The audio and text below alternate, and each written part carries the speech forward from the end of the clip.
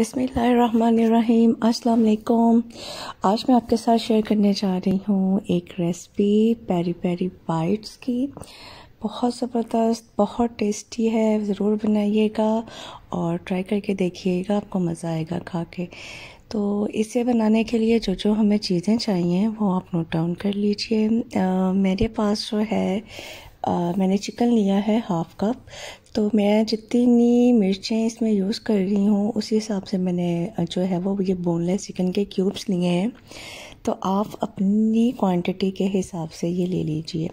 इसमें हम यूज़ करेंगे आधा चाय का चम्मच जो है, इसकी मैरिनेशन में लहसुन अदरक का पेस्ट दो खाने के चम्मच दही जाएगा और एक चाय का चम्मच जाएगा लेमन का जूस इसके अलावा हम इसमें आधा चाय का चम्मच यूज़ कर रहे हैं नमक का और आधा आधा चाय का चम्मच ही पेपरिका पाउडर है और वाइट पेपर है। तो आप पेपरिका की जगह पर वाइट पेपर की जगह पर जो है, वो लाल मिर्च और काली मिर्च भी इस्तेमाल कर सकते हैं। तो सबसे पहले हम मैरिनेशन करते हैं। मैरिनेशन के लिए एक बोल लेंगे और बोल के अंदर हम ऐड कर देंगे जो दो खाने का चम्मच हमारे पास दही है उसका।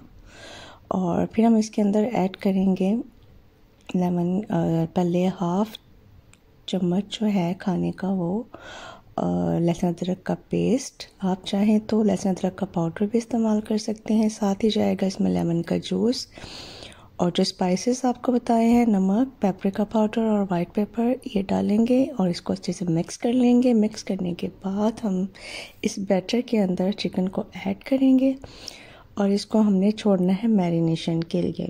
तो इट डिपेंड्स कि आपके पास कितना टाइम है। कम अज़ कम दो घंटे के लिए छोड़ दें। ज़्यादा से ज़्यादा जो है आपको जितना मर्ज़ी इसको टाइम दे सकते हैं but two hours are enough for the marination तो मैं इसको अच्छे से मिक्स कर लूँगी। मिक्स करने के बाद मैं इसको लगाऊँगी क्लिंग रैप और फिर मैं इसको टू आवर्स के लिए छोड़ूँगी मैरिनेशन के लिए।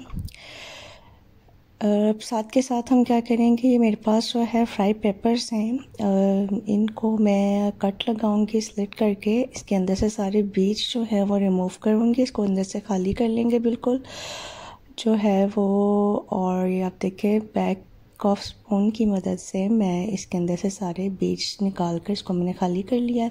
अब एक बाउल के अंदर तकरीबन दो लीटर पानी मैंने लिया है। उसके अंदर मैंने डाला है एक चम्मच सिरका और डेढ़ चाय का चम्मच नमक का और इसको मिक्स करूँगी। और मिक्स करने के बाद ये जो मैंने साफ़ की हैं मिर्चें, वो मैं इसके अंदर सोख करूँगी। कम अज़ कम आधा घंटा और ज़्यादा से ज़्यादा दो घंटा।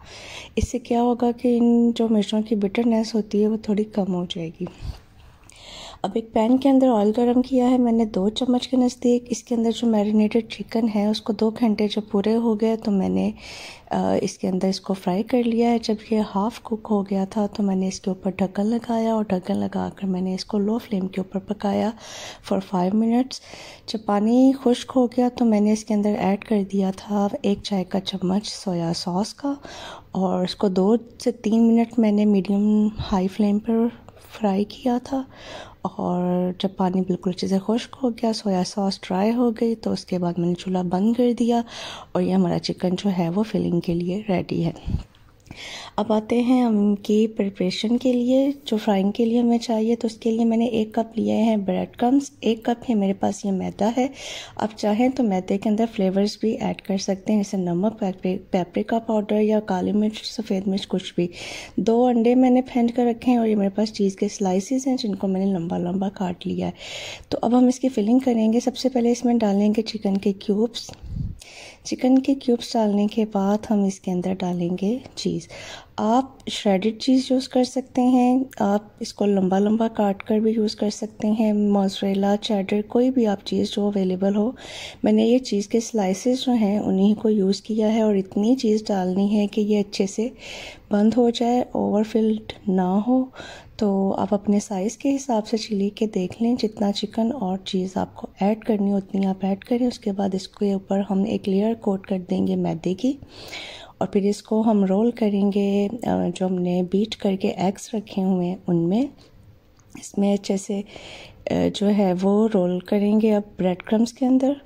और इस तरह से आप, क्योंकि इसकी जो सरफेस है बहुत स्मूथ होती है तो स्टे नहीं करते तो थोड़ी आपको हाथों की मदद से प्रेस कर करके इसके ऊपर जो है इनको लगाना पड़ेगा। मैंने डबल कोटिंग की है। दो दफ़ा एग में डिप करके दो दफ़ा ही मैंने ब्रेड क्रम्स इसके ऊपर कोट किए हैं, ताकि कोई भी जगह जो है वो खाली ना रह जाए कोटिंग के बगैर ना रह जाए। तो ये देखिए, ये चिली जो है वो तैयार हो चुकी है कोटिंग के साथ। जो जगह थोड़ी खाली फील होगी, वहाँ पर हम इसको प्रेस करके ब्रेड क्रम्स को अच्छे से लगा देंगे और इसी तरह से वन बाय वन सब मिर्चें जो हैं वो तैयार करके रख लेंगे। उसके बाद ऑयल गरम करेंगे, चाहे तो शैलो फ्राई कर लीजिए डीप फ्राई कर लीजिए, मैं नॉर्मल फ्राई कर रही हूँ। और ये सब मेरी पसंद के कलर आने तक फ्राई हो चुकी हैं। अब मैं आपको कट करके दिखा देती हूँ कि ये अंदर से भी अच्छे से कुक है।